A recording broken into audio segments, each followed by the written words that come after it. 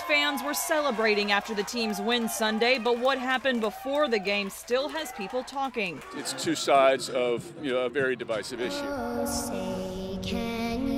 During the national anthem, 10 players sat and four stood in support next to them to protest comments made by President Donald Trump. Those 14 athletes joined at least 100 others in the NFL Sunday in taking a stand. And as fans watched, opinions came from all sides. No comment, really.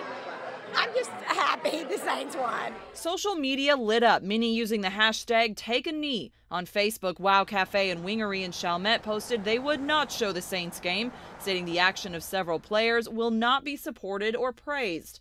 This now former Saints fan also posting a video showing her anger towards the team by burning the gear she owned. I- am just utterly and totally disgusted.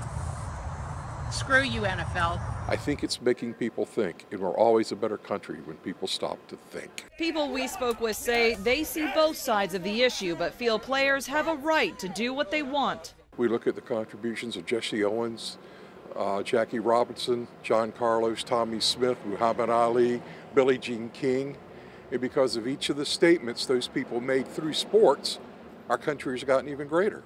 We're at another challenge now. I'm a veteran of the Marine Corps. I'm very much a patriotic individual. I, I, I stand, I salute, and I support their right not to. Uh, that's a right given to them by the First Amendment. Um, and I think the person sitting in the White House should be defending that right. The NFL protest is no doubt controversial. I believe in their right to make a statement and make a protest.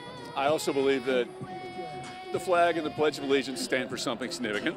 But for or against, some fans say what happened Sunday won't stop them from cheering on the black and gold. Jay Cunningham, Eyewitness News.